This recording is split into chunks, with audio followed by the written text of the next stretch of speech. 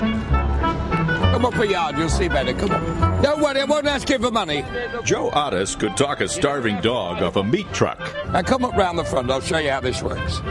The man in the $1,000 suit sold $5 potato peelers. And you'd turn the whole potato into great french fries. Very cool. Lots of them. There you go.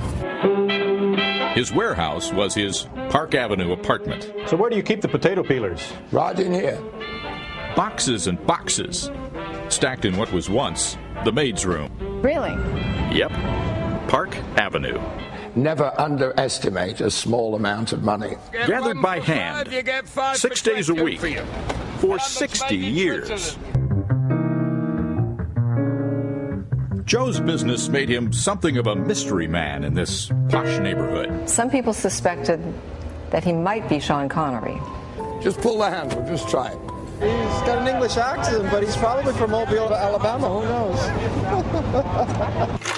The accent was as real as the bombs in his boyhood backyard. Joe grew up in Britain during World War II, learning from pitchmen who set up in the rubble. Joe Squinters, Black Dougie, Heckle and Peckle. They were brilliant. And so, it turned out, was Joe. Big crowd. What's the most unusual thing you've sold? Unusual.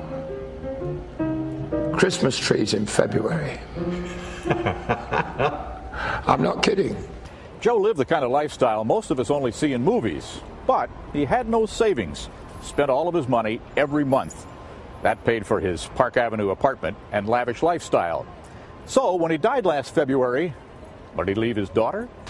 He left me 40 boxes of peelers and a bag of carrots. With instructions on how to gather a crowd.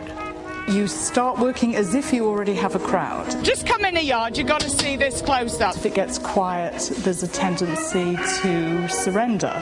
That's the best five dollars you'll ever spend. My father taught me that you just keep going, even if there are just three people standing there. Customers are attracted to people who enjoy what they do. I think that's the secret of happiness, not doing what you like, but liking what you do. Joe first taught Ruth how to hawk children's books on the street so she could put herself through Columbia University. Before he died, he was determined to do the same for his granddaughters. Me and my friend went to a river and we caught minnows. Minnows. I want the kids to go to the best colleges that it's possible to go to, and I want to pay for it. That's why Joe was up before dawn every day, pushing potato peelers down Park Avenue. That's why his granddaughter Nina is up early too, helping her mom buy potatoes before school. Are these the big ones? No, we need the small ones. My hands aren't as big as Grandpa's. Ruth remembers her dad like the lines from a cherished song. In every way. He taught her to savor the glorious uncertainty of starting every day with nothing. You get one for five, you get five for twenty. Apple for apple fritter.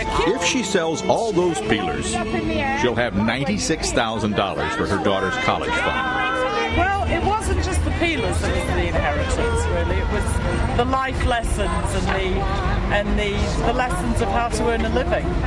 A lasting wealth. And why would you buy four peelers if they last a lifetime? You've got four friends, that's why. With the chance of making many, many more.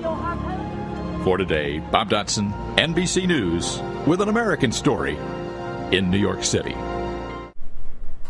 Here are key points. Tell stories through people. Tell stories about people. Capture the person in their environment. When interviewing, get people to do something. Don't let them just stand there or sit there. Use meaningful transitions to move viewers through elements of your story.